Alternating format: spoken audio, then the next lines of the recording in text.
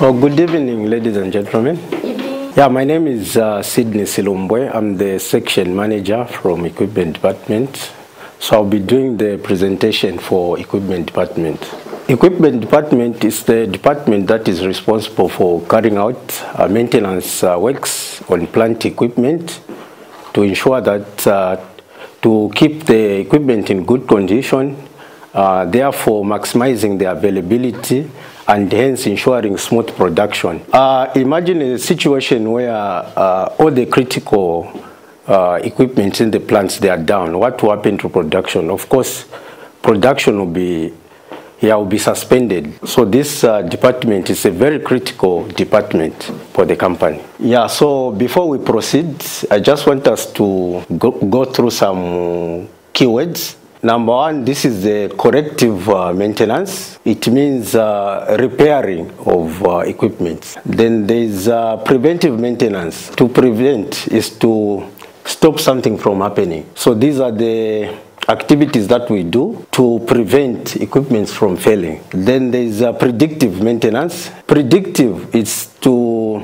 anticipate. To anticipate if something is going to happen, then there is a, maintenance schedule or rather a maintenance plan.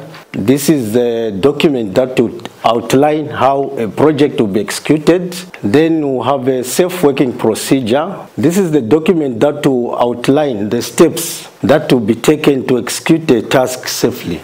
then there's installation. Installation, of course, is just to put something. Then commissioning. Commissioning is uh, authorization of a newly okay product to put it into operation. Then procurement is uh, is obtaining goods and services that the company uses for various operations. Yeah. Then fitting. Fitting is basically dismantling and assembling processes.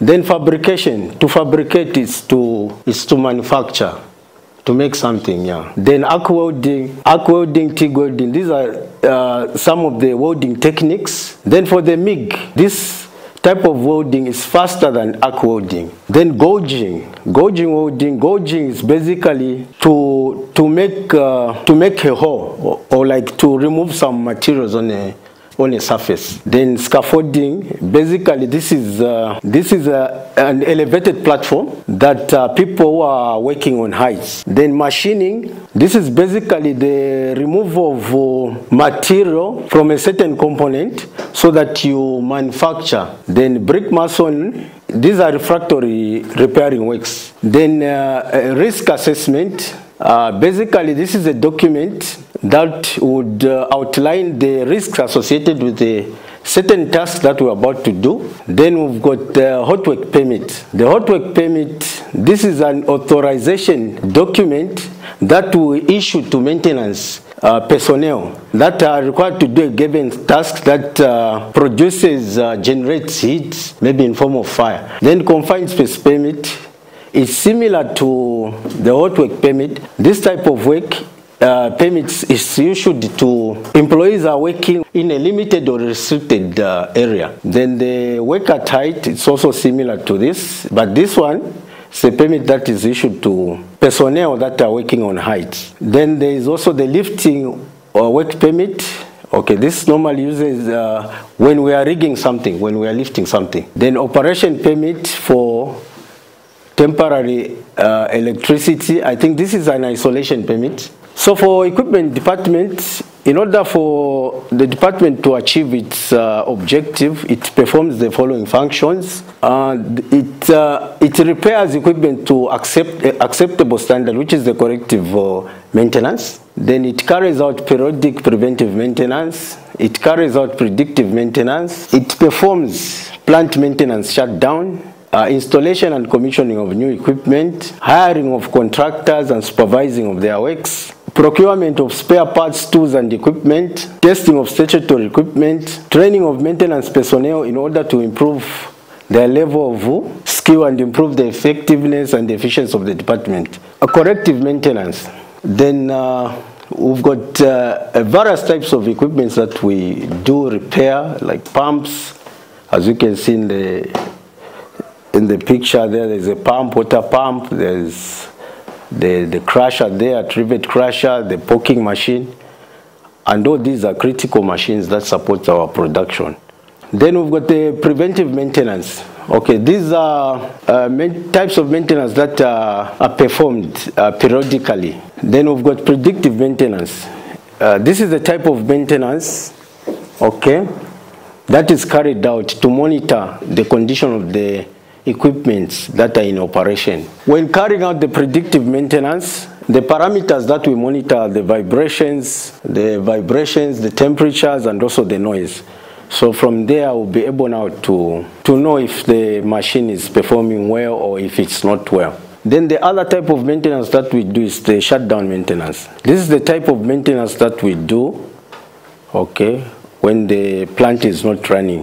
You know, certain uh, corrective uh, and preventive maintenance jobs, they can't be done when the plant is running. Equipment installation, as a department we also do some equipment installation, then hiring of uh, contractors. Yeah, of course, in the, in the plant there are so many projects. I think as a department, with the limited manpower that we have, I think we are not able to do all the jobs.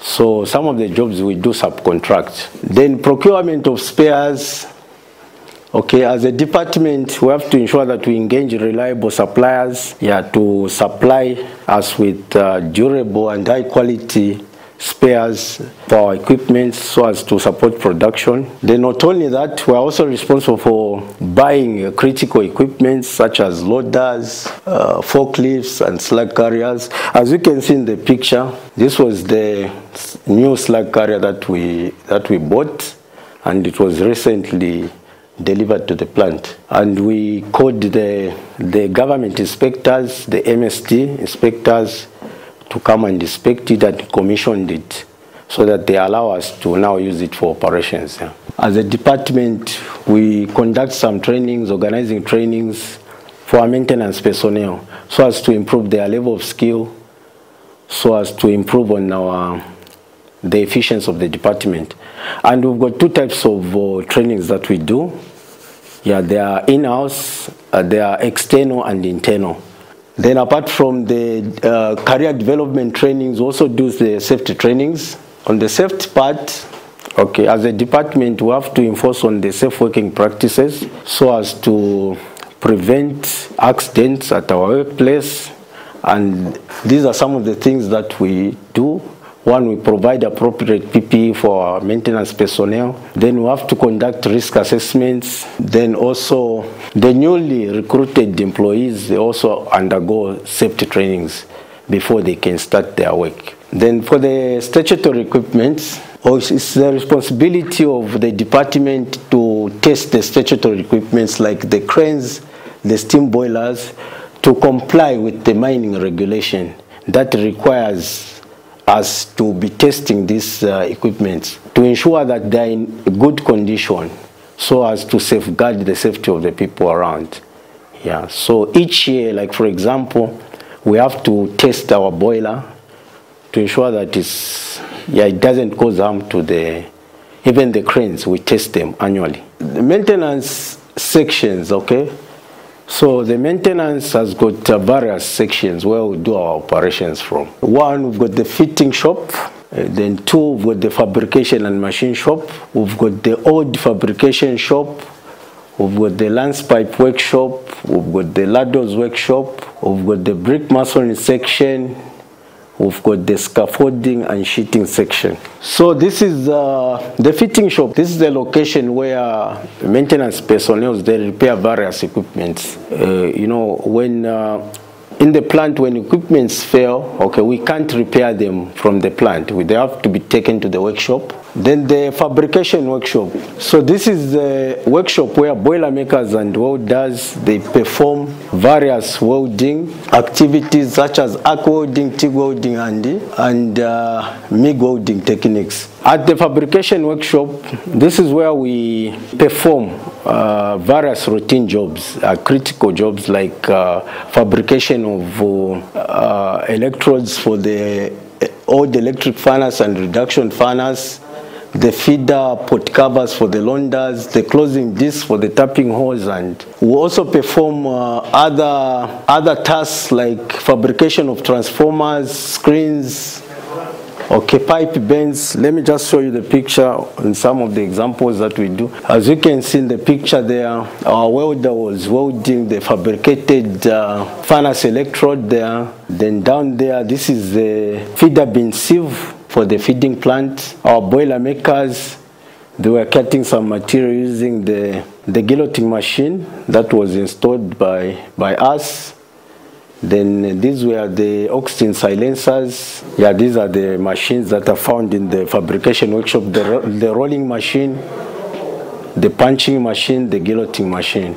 Then we've got the machine shop. In the machine shop, this is where we, we manufacture various machine uh, components that are used in the plant. And we use the machine tools. Machine tools, these are tools that uh, uses some sort of uh, tools to cut the raw material into the desired shape by controlling the uh, material removal process. Our artisans in the machine shop, they also perform a lot of jobs. They also make timbers for anode furnace. They make shafts for the, for the poking machine uh, speed reducers. They make wedges for the copper jackets the wages for the copper jackets for the electric furnace and they also perform other other jobs that are required. Maybe in the plant maybe we need to do some modifications in the plant. Then it requires some machining job. Instead of taking the job outside our team of uh, machinists to do that job. And they also perform uh, general machining tasks in the machine workshop. There's a lathe machine there okay there's a milling machine. Then uh, this is the shaper. Then we've got also this the boring machine. Then we've got the old fabrication workshop. This is the workshop where we fabricate heavy duty components. Heavy duty components, okay, like the ducts. You see these these components are very big. We can't uh, fabricate them in the fabrication workshop. Next, uh, this is the lance pipe. I think this is the heart of the ISA. It works in the very high, high temperature environment, so with time it will get worn out.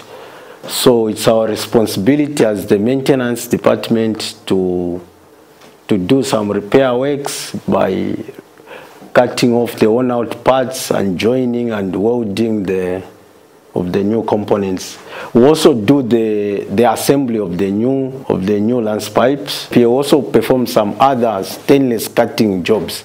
The brick masonry team, okay, this is also one of our key key section. Another important section that we have is the ladder, ladder workshop. In the ladder workshop, this is where we repair ladders, slag ladders and mats ladders. Then the last section, we've got, uh, we've got the scaffolding section. This is responsible for erecting and dismantling of the scaffolds. You know, certain jobs in the plant, they are required to be performed uh, at height. Like, for example, plant guys, maybe they need to do some cleanings, maybe at the height. So they require a scaffold, okay? Then not only that, they are also responsible for the replacement of roofing sheets and also fabrication of the roofing sheets. I think I end here. yeah.